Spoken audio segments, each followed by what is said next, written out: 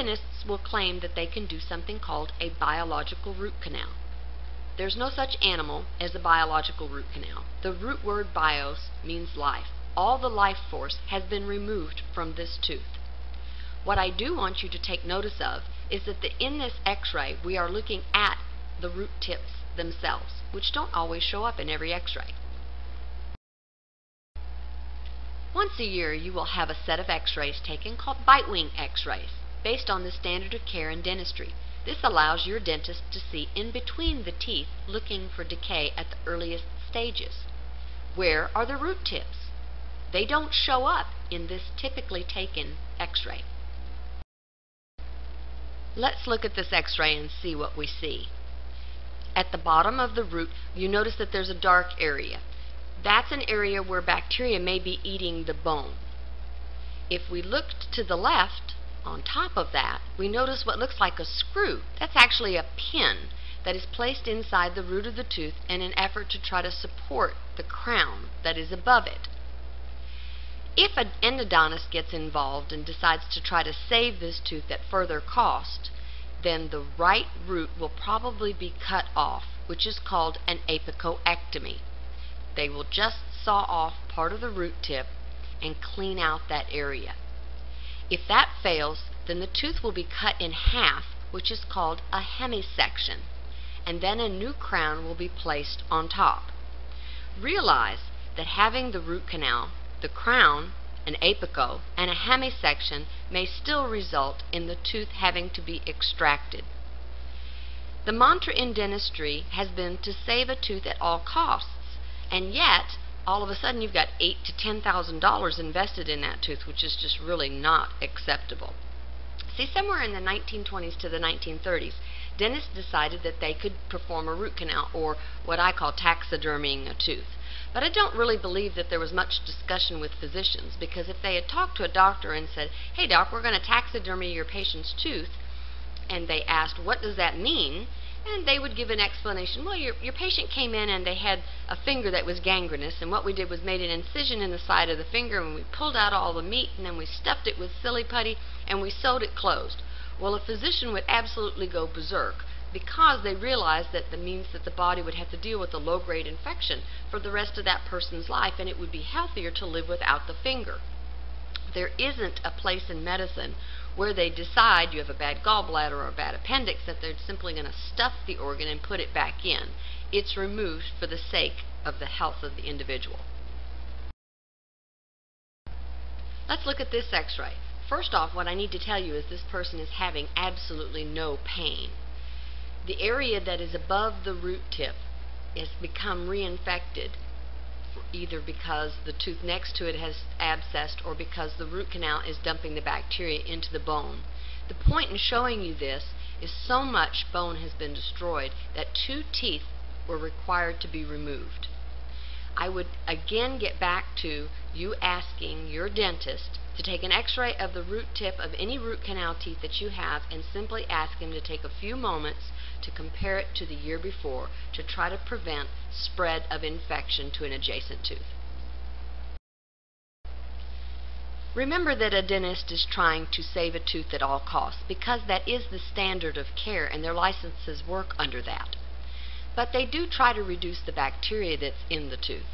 One of the things that they're using now is ozone injections. Because ozone can be used in a swimming pool to reduce bacteria, it's thought that it may reduce some of the bacteria around the tooth.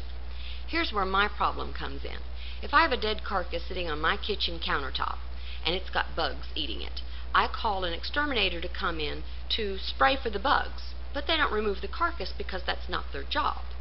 At some point in time, if the carcass isn't removed, new bugs come in. I don't know whether that's two days, two weeks, two months, or two years later, but at some point new bugs do find the carcass and the process starts all over again. When we're looking at the laser treatment of root canals, the crown is removed and the putty is removed in an effort to be able to shine the laser into the center of the tooth. Here's where the problem comes in with the laser. A laser can only travel in a straight line. So the canals that are the straight ones have the opportunity for the laser to get in there and be able to kill the bacteria. But all the bacteria that's in the sideways tubules is sitting there. Man, You better be glad you're not eating lunch down there, 'cause those guys are getting nuked.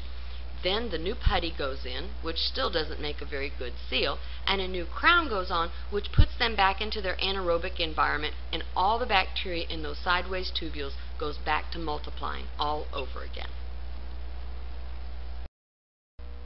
Let's talk about the laser for just a moment. The laser is a light and can travel through a tooth if directed through a tooth without a crown. This will not remove the dead flesh, but may nurse the tooth for a period of time to help control the bacteria. By now you can understand that a root canal cannot be sterilized. As a result, the trapped bacteria can mutate and migrate to infect either your heart, kidneys, eyes, stomach, or countless other body tissues. This theory is called the focal infection theory. It means that a person can have an infection somewhere and that the bacteria involved can be transferred by way of the bloodstream to another gland or tissue and therefore start a whole new infection.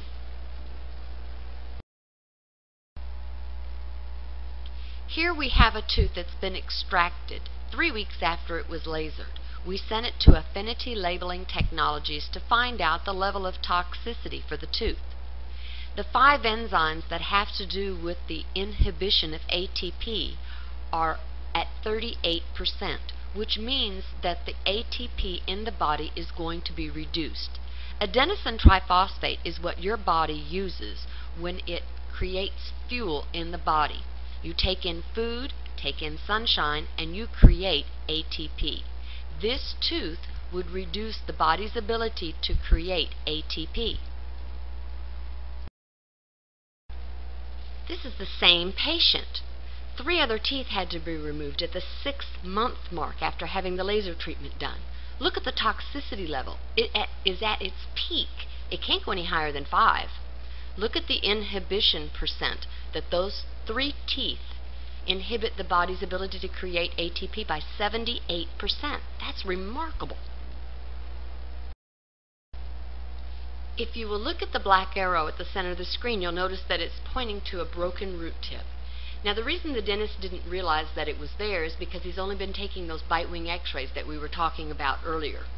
There are also some other areas of the bone that when looked at through the eyes of a conventional dentist, they would think that the areas are perfectly healthy bone.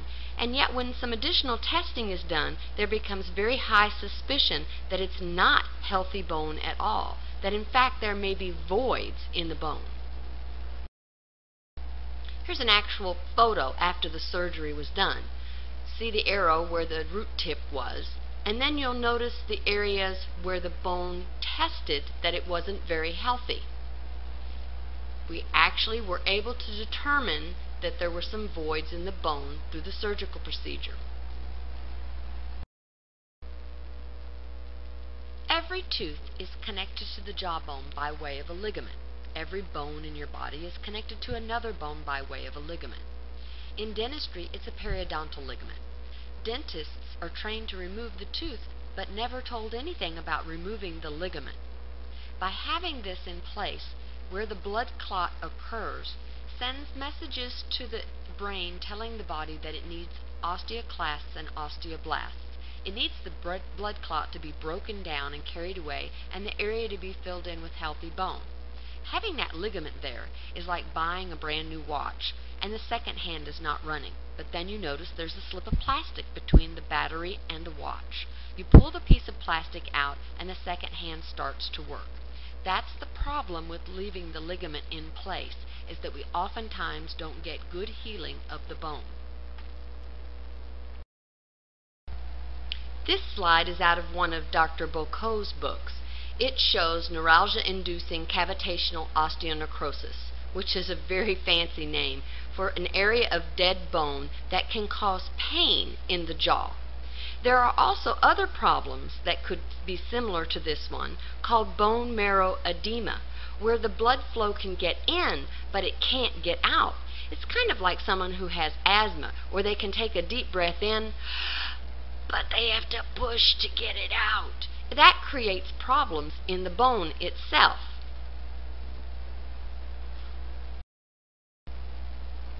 These areas in the jawbone can be created from things other than just extractions.